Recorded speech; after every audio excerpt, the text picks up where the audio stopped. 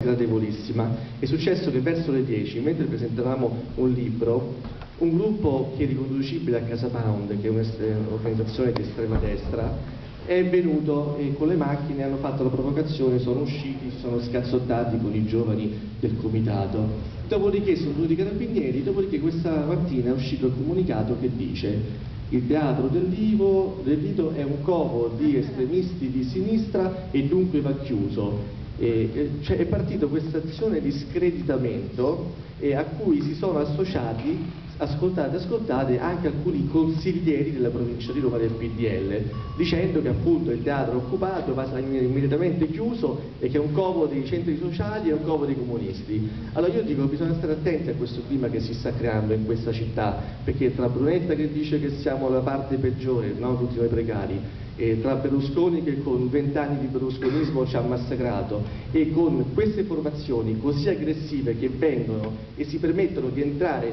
nel tempio della cultura e della cittadinanza che è un teatro, di picchiare i giovani, beh io dico che bisogna stare molto attenti, bisogna rilanciare con assoluta determinazione questo processo creativo che sta succedendo qua dentro e fare in modo che diventi così contagioso che davvero nel giro di poco tempo ogni città grande abbia un teatro occupato in modo che possiamo parlare con il Parlamento Parlamento e non solo col Campidoglio. E noi siamo per questo e ci metteremo tutta la nostra forza